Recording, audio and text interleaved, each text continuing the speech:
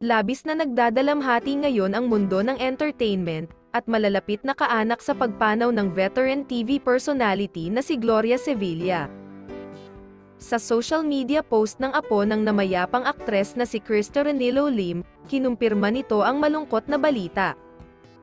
I can't sleep, I miss you, I'm so thankful we were able to spend time ever since you moved here to the US, it's still not enough time, I wish we had more time, I wish we had more memories together, it's been 10 days since we last saw each other and my heart is breaking. Knowing I won't see you again, bahagi ng post ni Krista.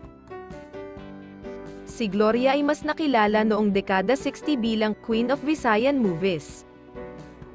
Bukod sa mga classic movies na pinagbidahan ni Gloria tulad ng Badlies sa Kinabuhi, Gimingaw Ako, at Madugong Paghihiganti naging aktibo rin sa mga programa sa telebisyon ang namayapang aktres. Sa ngayon, kasalukuyang nasa Oakland, California, USA ang mga labi ng namayapang veteran actress kung saan naninirahan rin ang kanyang mga kaanak.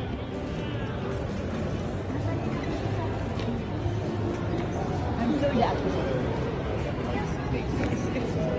I'm so happy I love. Tumami ko sa wife ko, my great